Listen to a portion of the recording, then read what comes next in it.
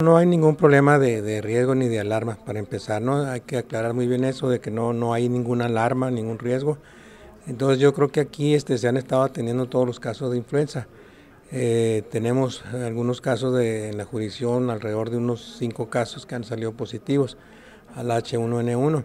Entonces yo creo que aquí la, recomendación más, más eh, importante que yo haría en este caso este, es eh, tener mucho cuidado pues cuando empiezan los, síntomas por parte de esta enfermedad, que la gente debe saber que, se debe atender a tiempo. O sea, muchas veces les da el H1N1, entonces este, están automedicando muchas veces y no, se atienden inmediatamente. Los síntomas son, son una forma súbita, así, de repente te, te empieza a doler mucho la cabeza, te da calentura, te duele mucho el estómago, el pecho, te duele mucho el cuerpo, te puede dar diarrea, te puede dar vómito.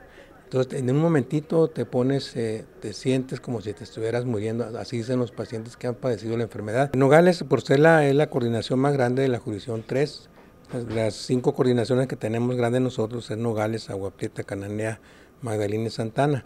Entonces, Nogales y Agua Prieta pues, son los que presentan eh, un poquito más de casos de, de influenza aunque como decía el doctor ahorita, Laura es alegría que pues prácticamente se han estado atendiendo en la mayoría de los casos que son la influenza estacional, pero sí estamos muy pendientes de la cuestión de la, de la H1N1, que es la, es la que realmente nos está dando más problemas, porque sí es la que nos provoca desafortunadamente las defunciones.